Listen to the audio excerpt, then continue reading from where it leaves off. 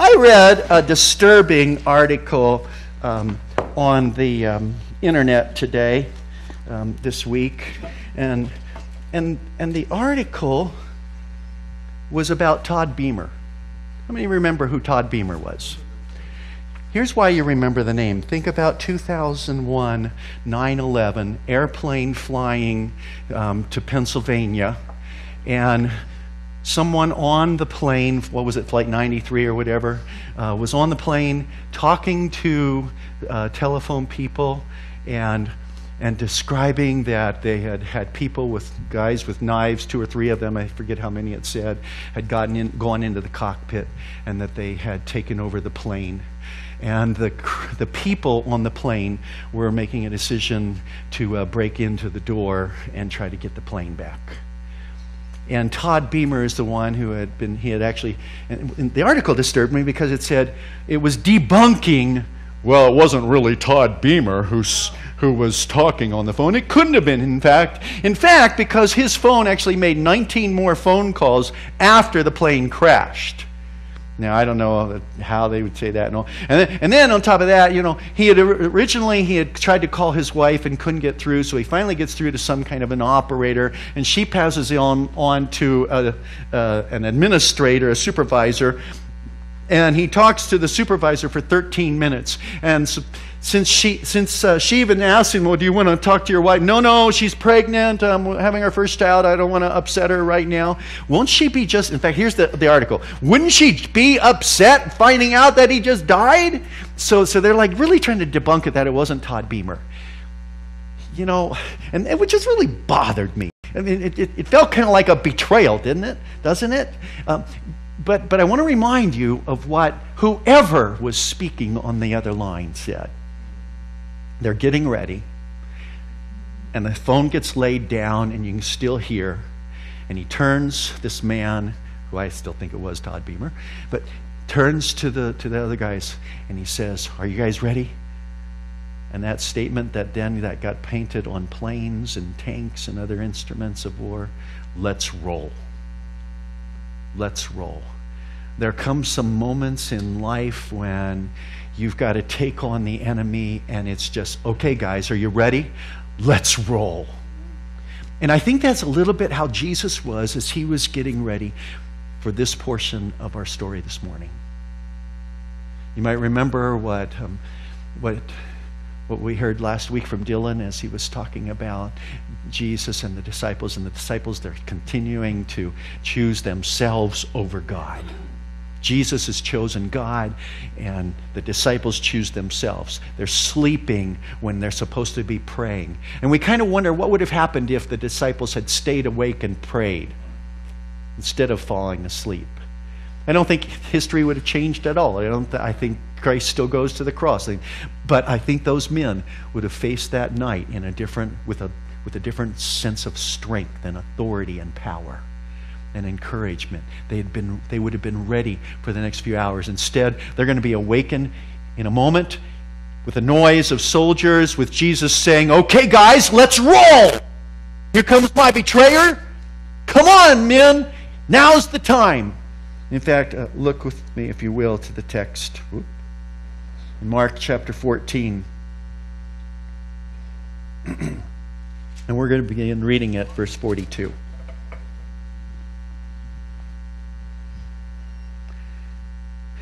Rise, let us go. Here comes my betrayer. And just as he was speaking, Judas, one of the twelve, appeared. With him was a crowd armed with swords and clubs, sent from the chief priests, the teachers of the law, and the elders. Now the betrayer had arranged a signal with them.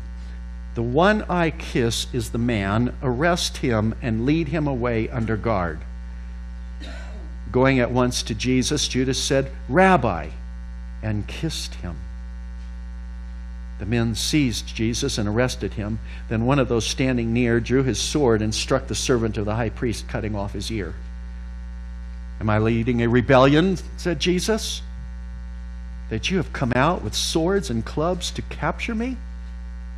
Every day I was with you teaching in the temple courts, and you did not arrest me. But the scriptures must be fulfilled. Then everyone deserted him and fled. A young man, wearing nothing but a linen garment, was following Jesus when they seized him. And he fled naked, leaving his garment behind.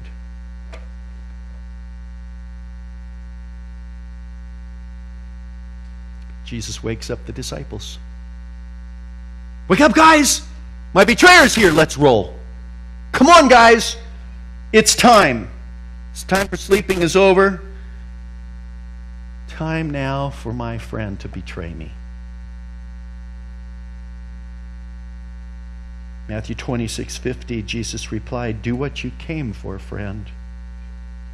Then the men stepped forward, seized Jesus, and arrested him. This has to be one of those painful moments for Jesus.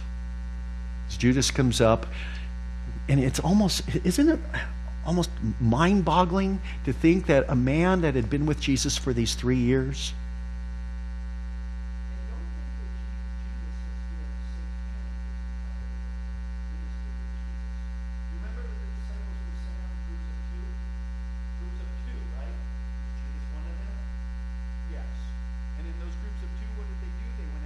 repentance. They called the people to come see Jesus. They healed the sick and they cast out demons. Was Judas one of those? Yes, Judas was one that did that. When Jesus walked on water, where were the disciples? In the boat. Peter gets out of the boat, none of the rest of them do. Was Judas there? Did he see it happen? The disciples, it says that they were, Whoa, what, what is this man? And he actually calms the storm that occasion and another occasion, and they're like, Oh, this would be appropriate moment. Oh my God, who is this? Okay, most of the time we say, oh goodness, right? But, but this is one of those moments you're like, oh my God, because it is God. Was Judas listening to that and did he see those things happen? The disciples were there, and Jesus says, Okay, there's these 5,000 men plus women and children. They all need something to eat. And what does Jesus say? You guys go feed them. Then he starts praying over a couple fish and a few loaves and, and starts handing it to the disciples. Did Judas join in taking the food to the 5,000? He was there. So if you think about this, in every one of the significant moments of ministry with the disciples, Judas was a part of it. So it is mind boggling that somebody that would see Jesus so closely experienced so much of who he was that he would turn on Jesus. But is it so mind boggling? We're on this side of the cross, on this side of an empty tomb, on this side of the coming of the Holy Spirit. And you may not like it, and that's probably why we have less people here today. It's not the snow, but the fact is, is that we've got to examine ourselves and see whether we betray Jesus as well.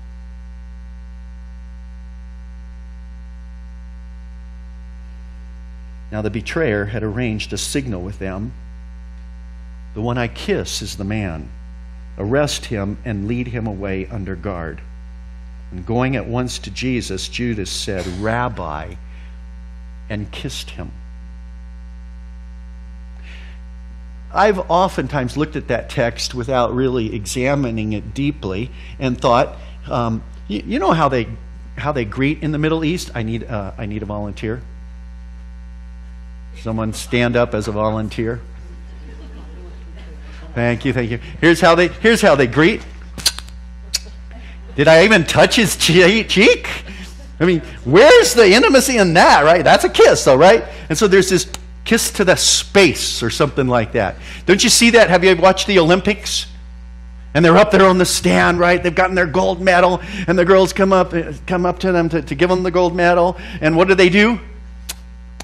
Or if you watch the, watch the um, Tour de France, after every, every award that these guys get every single day, there's all, these different special awards, five different awards, and they do the same thing. I'm like, you guys, these are beautiful girls, kiss them, right? And it's like, you know, you know, the space, you know, like, what, what was that? Okay.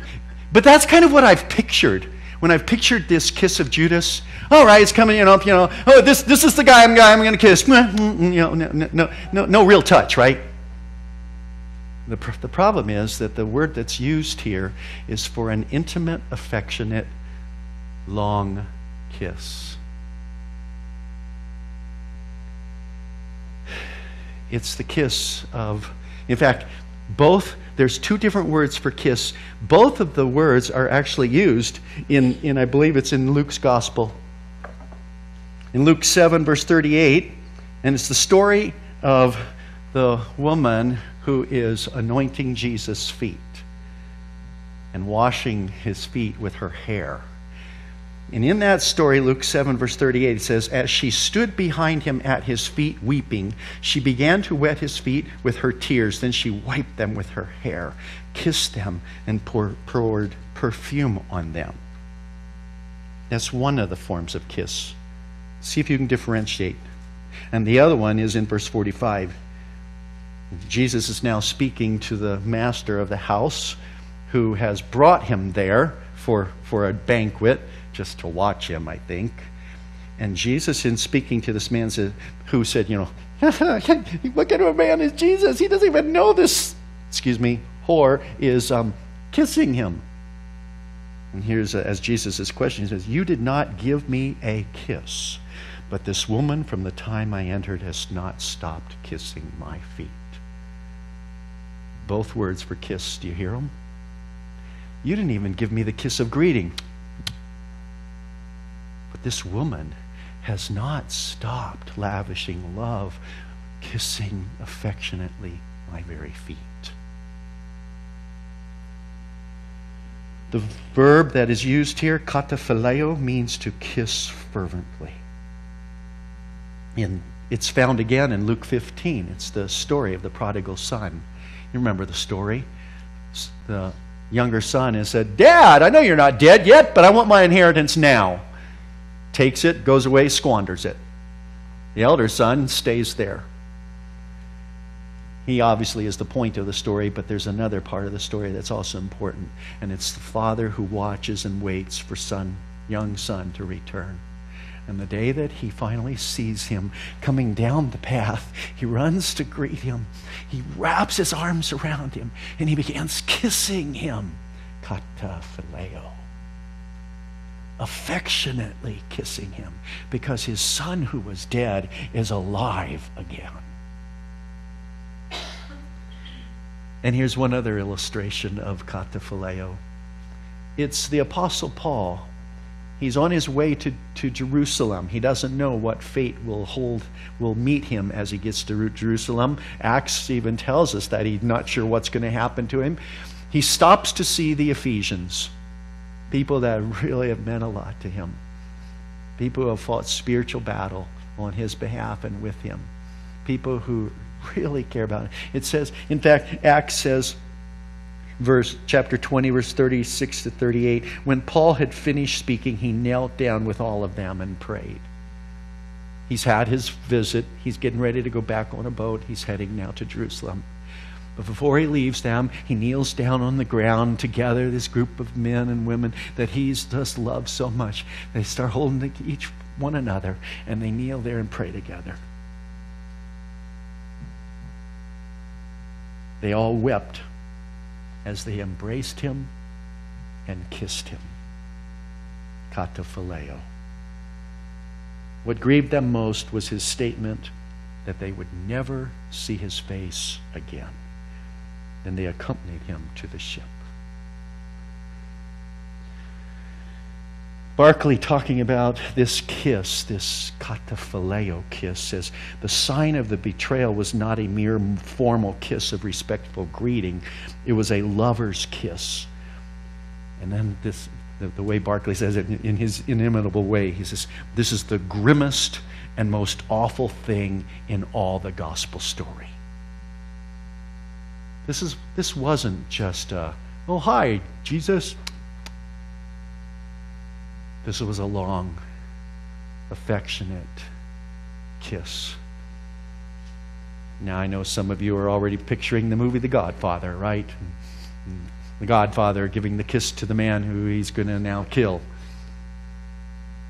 Well, that was a long and intimate kataphileo kiss.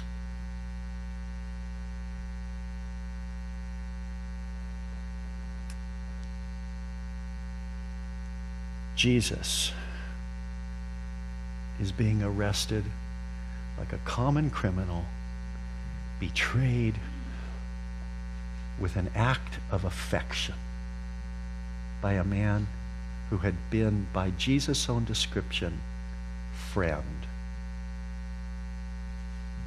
And could I just remind you that in John 15, Jesus says, No longer do I call you servants, but I call you what? Friend. We're friends of Jesus Christ if we've opened our hearts and lives to Him, committed ourselves to Him. We're His friends. And it's a friend who kisses Him intimately and betrays Him. And now what's going to happen? This mob, and I, I'm, some people say, well, was it Roman guards? I doubt it. It's not the way Mark says it. It's a group of, of, of some of the probably the soldiers who were the guards for the temple and it's really kind of a mob of people. Unruly, lanterns with them to show the way.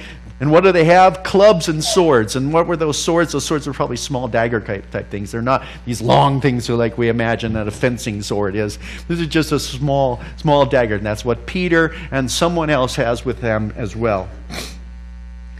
Am I leading a rebellion, said Jesus, that you have come out with swords and clubs to capture me? You don't need swords, you don't need clubs. I'm not part of the resistance. I'm not a thief in hiding. I'm not somebody who's trying to run and steal things from you and then take off without you finding me. In fact, I've been right there in the temple. I've been preaching and teaching. I've been available for you to take me at any moment. And yet you come at night? You treat me as if all I am is this common criminal?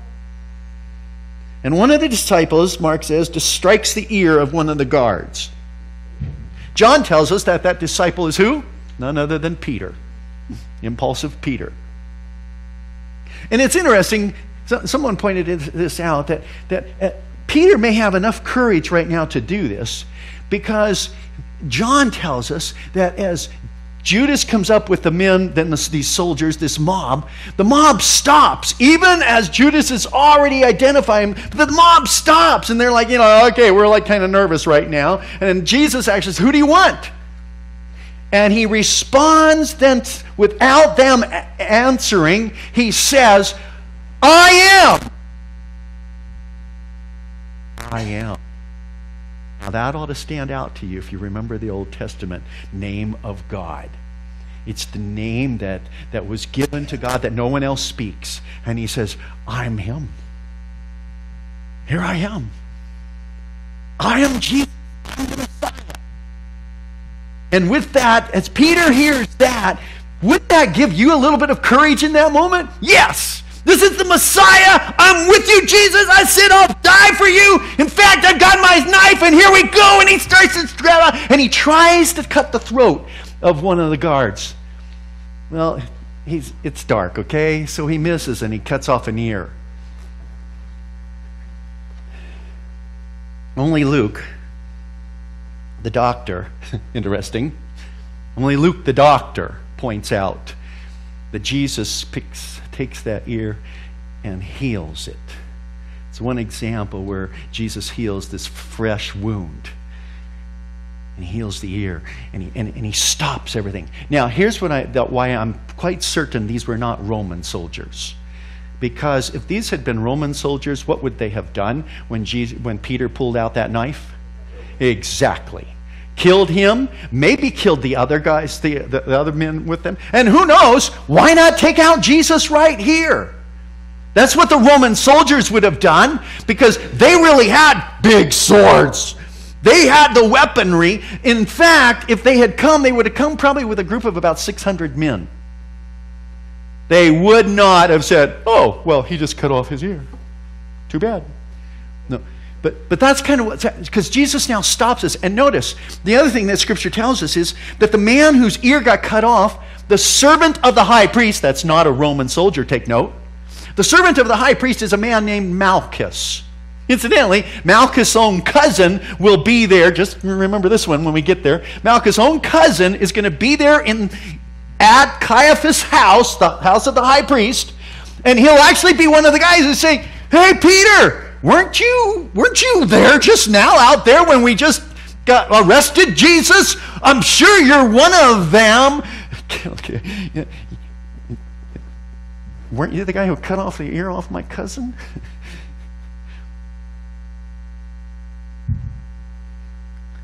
But Warren Wiersbe makes an interesting comment about this text. He says, Peter used the wrong weapon at the wrong time for the wrong purpose with the wrong motive.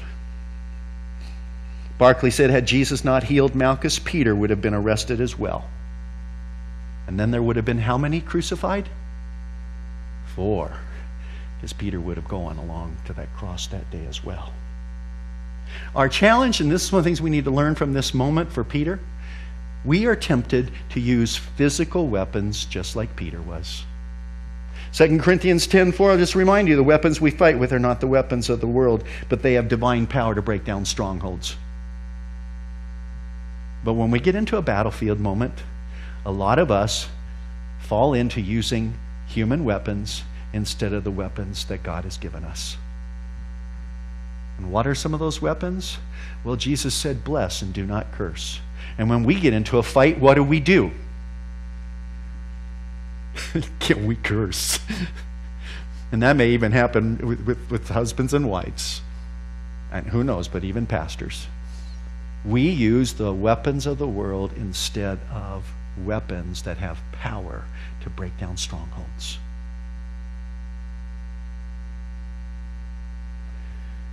Mark said, Every day I was with you, teaching in the temple courts, and you did not arrest me. And then there's this very interesting next little phrase but the scriptures must be fulfilled. You've had all kinds of opportunity to arrest me, but, but the scriptures prophesy something different. And that's what's coming true. In fact, Psalm 41 9 says, Even my close friend, someone I trusted, one who shared my bread, has turned against me prophecy of Judas who will turn against him. Fulfilled in Mark 14, while they were reclining at the table eating, he said, Truly I tell you, one of you will re- betray me, one who is eating with me. And they were saddened, and one by one they said to him, Surely you don't mean me. It is one of the twelve, he replied, one who dips bread into the bowl with me. The Son of Man will go just as it is written about him. But woe to that man who betrays the Son of Man. It would be better for him if he had not been born. Psalm 41 again. Even my close friend, someone I trusted, one who shared my bread, has turned against me. You need clarification on that? John, Peter, Peter leans over, asks, John, John's laying here right at the chest of Jesus. John, ask him who it is. And Jesus responds, It's the man with whom I dip my bread. And he turns to Judas right behind him on the left. And he dips the bread and he gives it to him and says, Judas, go do what you've got to do. The Messiah will be sold for 30 pieces of silver. Zechariah 11, 12 to 13. I told them, If you think it best, give me my pay, but if not, keep it. So they paid me 30 pieces of silver. And the Lord said to me, Throw it to the potter, the handsome price at which they valued me. So I took the 30 pieces of silver and threw them to the potter at the house of the Lord prophecy fulfilled Matthew 27, 3 to 5. When Judas, who had betrayed him, saw that Jesus was condemned, he was seized with remorse and returned the 30 pieces of silver to the chief priests and the elders. I have sinned, he said, for have betrayed innocent blood. What is that to us? They replied. That's your responsibility. So Judas threw the money into the temple and left. Then he went away and hanged himself. And the blood money is to be used for the potter's field, Jeremiah 19. This is what the Lord says Go and buy a clay jar from a potter. take along some of the elders of the people, of the priests, and go out to the valley of Ben Hinnom. Now, if you're checking this out, you check the text and all. Where is the field that they're going to buy with the blood money from Judas? In the valley of Ben Hinnom.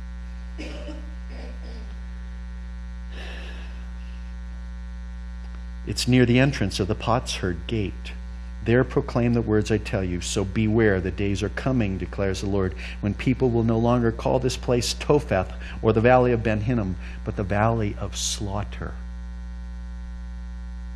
And this is fulfilled in Matthew 27, verse 6. The chief priests picked up the coins and said, It is against the law to put this into the treasury, since it is blood money. Now they're concerned about the law. So they decided to use the money to buy the potter's field as a burial place for foreigners. That is why it has been called the field of blood to this day. Field of blood, field of slaughter. Then what was spoken by Jeremiah the prophet was fulfilled. They took the 30 pieces of silver, the price set on him by the people of Israel, and they used them to buy the potter's field as the Lord commanded me. That's not the only prophecy that Jesus is saying has to be fulfilled. The Messiah is prophesied to be forsaken by his own disciples. Zechariah 13 7. Awake, sword, against my shepherd, against the man who is close to me, declares the Lord Almighty. Strike the shepherd, and the sheep will be scattered, and I will turn my hand against the little ones. And in Mark 14, the text just above what we're reading today. You will all fall away, Jesus told them, for it is written, I will strike the shepherd, and the sheep will be scattered. But after I have risen, I will go ahead of you into Galilee. And Peter declared, Even if all fall away, I will not. I've got my sword and I'm taking this guy down, Jesus. But no, Peter, I didn't come to fight that battle that way. Luke looks at this conversation in a very unique way. Chapter 22, verse 53, he says, Every day I was with you in the temple courts, and you did not lay a hand on me. And then he says it this way But this is your hour when darkness reigns. It's an interesting view that Luke brings out of Jesus' comment. This is not just about Scripture being fulfilled. This is about darkness reigning over a period of time for several hours. Evil is thinking that it's victorious. Evil is attacking with the ferocity of a terrible, cruel enemy. I thought of some other dark moments. Some of you know that we had a young man who was at Columbine actually had the bullets going by his head, running out, trying to break out of the hallway as uh, shots were being fired. A young man, Kenny, actually helped get kids out of the library. Before, before Harris and Klebold came into the school, they actually met some kids outside. One of those students that they met, they murdered in cold blood. You might remember in 1999, April 20th, that significant day that's that's the day of Hitler's birthday. That's the anniversary of Waco, Texas. And on April 20th, I believe it was around 2004, Kenny accepted Christ on an Easter Sunday.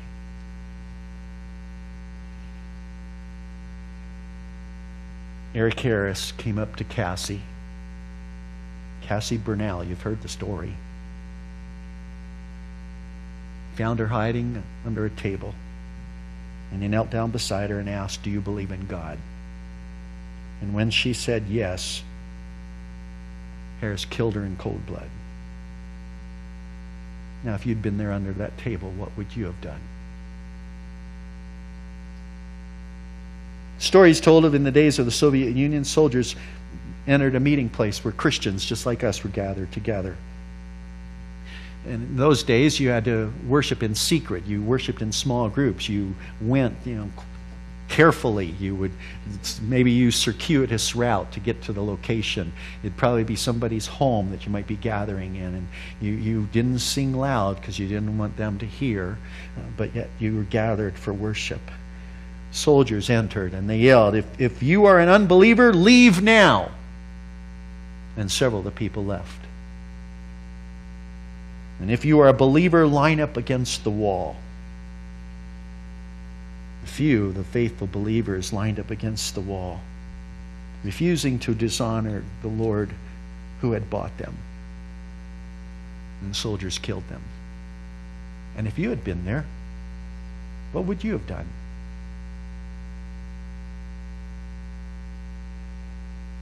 I, I recall an old, old, old song. It's a really almost a ballad, and it talks about um, 40 soldiers, 40 wrestlers, I believe it is, that are marching for God.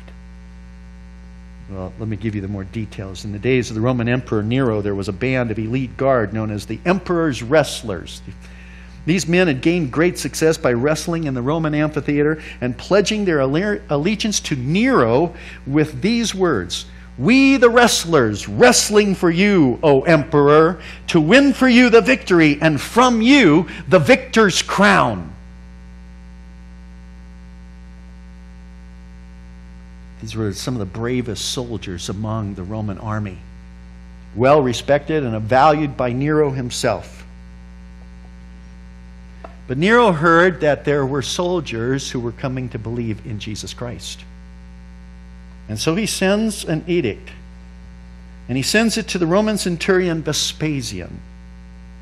If there be any soldiers who cling to the Christian faith, they must die.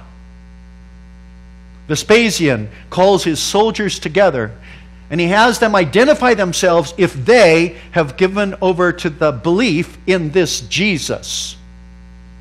And when you know it, but 40 of the Roman wrestlers raise their hands and identify themselves as followers of Jesus Christ. And Vespasian is beside himself. He can't kill these men. These are some of his most faithful soldiers. These are men that he cares about. He can't kill these men. And so, what does Vespasian do? He says, Okay, I'll give you to nightfall. So, they're going to think about this all day long. And tonight, we're going to gather again, and I'm going to see whether you still commit your life and believe in Jesus Christ. And so, once again, he asks them, Do you believe in Jesus Christ? And the 40 of them say, Yes. And he says, I can't have my own Roman soldiers kill their fellow countrymen like this, their fellow soldiers. And so he decides to do that something. It's wintertime, there's snow on the ground, frozen lake, and he says he has them stripped of their clothes and all their armor, and he sends them out to march on the lake in the cold of the night.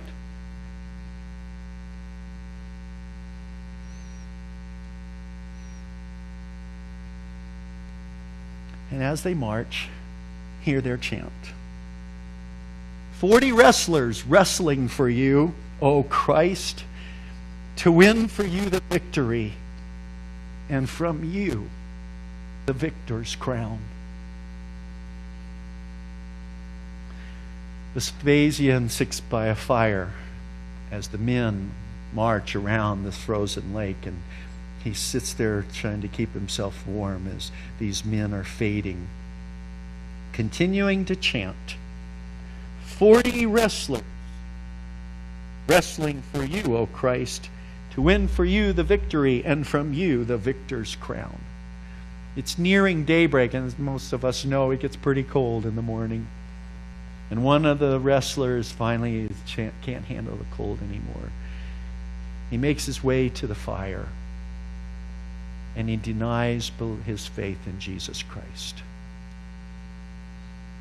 And off on the frozen lake, Vespasian hears 39 wrestlers wrestling for you, O Christ, to win for you the victory and for you the crown. And Vespasian can handle it no longer, and he drops his armor and he strips himself and he joins the men on the lake and says, Again, 40 wrestlers wrestling for you, O Christ, to win for you the victory, and from you the crown, the victor's crown. What would you have done if you had been among those soldiers asked, Do you believe?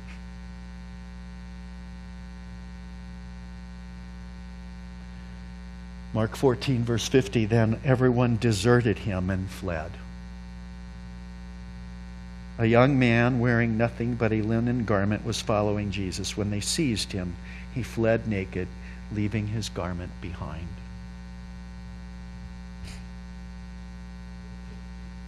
Everyone, everyone deserted him and fled. Yeah, the International Critical Commentary on the New Testament said they stood by him until his words and acts made it evident that Jesus was committed to a policy of non resistance. After that, to stay was simply to involve themselves in his fate, and that not for courage, for lack of courage, but faith was lacking. This is the explanation of their conduct during this crisis. Their faith had suffered an eclipse.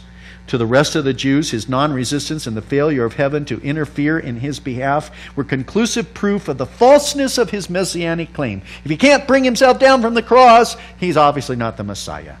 To the disciples, doubt removes courage. And the disciples fled because their faith By the way, I just read that they all deserted him and fled. And a young man wearing nothing but a linen garment was following Jesus. When they seized him, he fled naked, leaving his garment behind. What is that about? Okay, is that really important for the rest of this story? So what if there's a young guy around there and he's you know running out without his clothes and they, you know he takes off? I mean, no big deal, right? Ah. You know why Mark, why we believe Mark included this part of the story? Many people, David Guzik in his, in his commentary says, many people suppose that the upper room where Jesus held the Last Supper just a few hours earlier was at, was at a home owned by Mark's family. Acts 12:12 12 says that the disciples used to meet at the home of Mark's mother. It may be that the arresting army led by Judas first came to Mark's home because that is where Judas was last with Jesus. Mark, a young guy, what's he do? Jumps up and, well, I got to go try to warn Jesus. And he runs and he gets there, unfortunately, about the same time as the soldiers do. And he watches all of this, and, and as they're going back, they see him and they try to grab him, and he takes off. Why would it be here? Because Mark is saying, I was there. By the way, wait, you remember where Mark got most of his details from? From one Simon Peter, the guy who cut off the ear, has told him all the details. The guy who, in a few moments or a few hours, is going to deny Jesus. Embarrassed and ashamed of that. Why does Mark include this? It's kind of like Mark's got to say, uh, Peter, I was there too. And I ran also. I was afraid as well. Peter, I understand what you felt.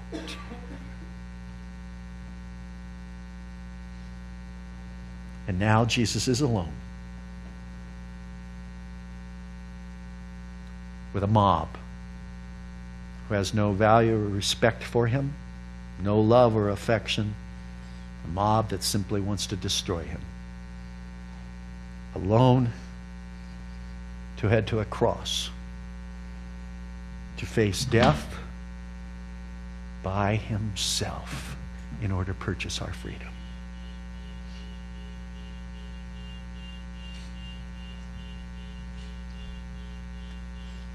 And I was just about to say, and you can almost hear it.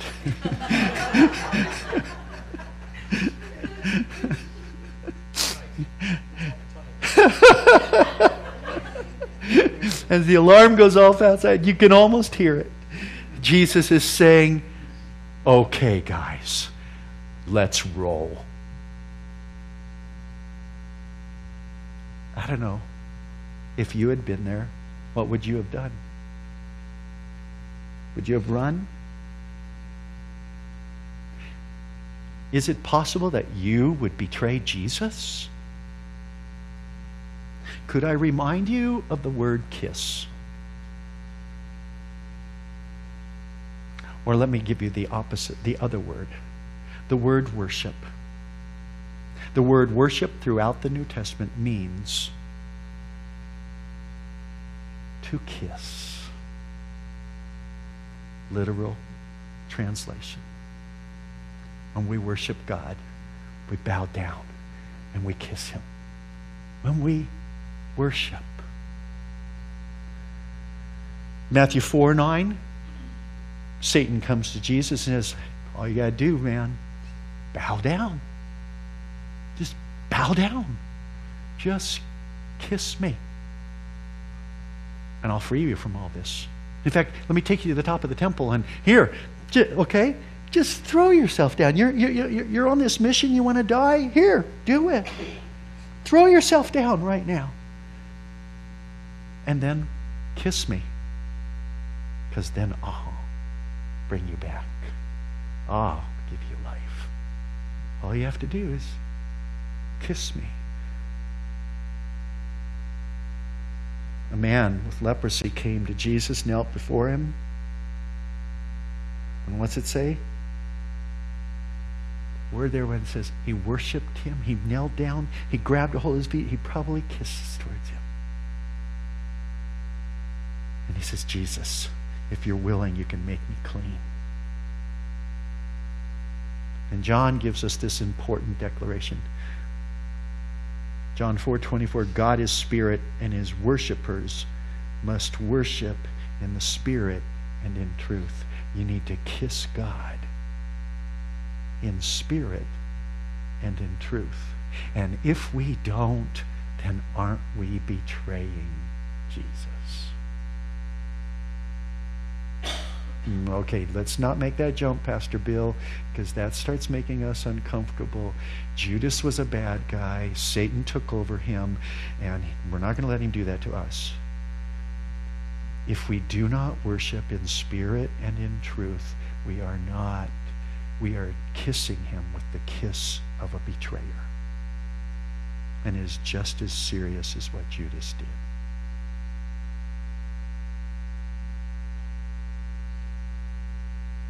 So examine your worship. Will you betray Jesus with a kiss?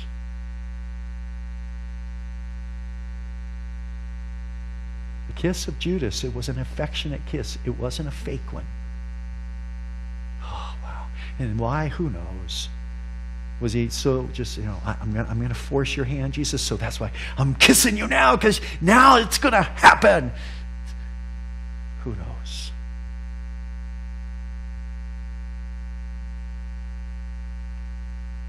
As we end worship today. Judas felt guilty. And he takes the money and he throws it back. If you feel guilty about any aspect of your worship, then as a single word repent. If your worship is like a meaningless kiss, Jesus wants you to kiss him with devotion. It's a single word repent. And if you have run like everyone else and you've deserted Jesus, then it's a single word repent.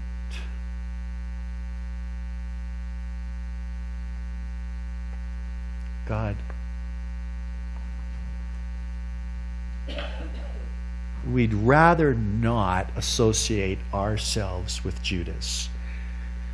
We'd rather not think that we would be one of the disciples who ran and fled, deserted you at, a, at such an important time.